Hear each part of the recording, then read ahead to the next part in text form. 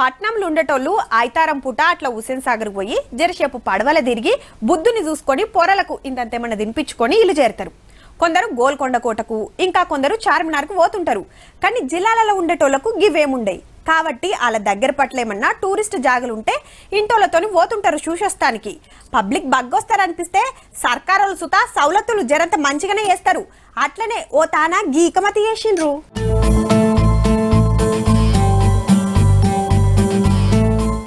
చుట్టూ నీళ్ళు. నడిమిట్ల భూమి. ఏమన్నున్నదా? పడవలు వస్తున్నాయి పోతున్నాయి. ఒక్క పారన పోయి రావాలే. అనిపిస్తుంది కదా కానీ ఇప్పుడు చెప్పుకునేది నీళ్ళ నడుమున్న ద్వీపం గురించి కాదు. ఈ క్రూయిజ్ గురించి. హౌ?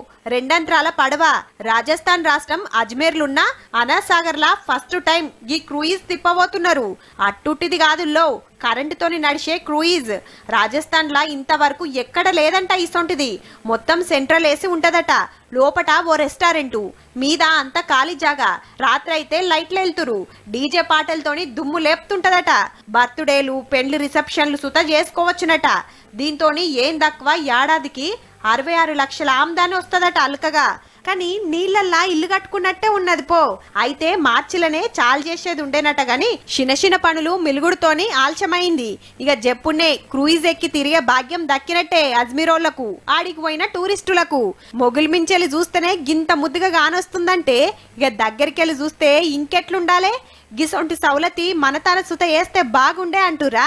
జల్దినే ఈడికి సుత వస్తుండొచ్చు తీయుర్రి.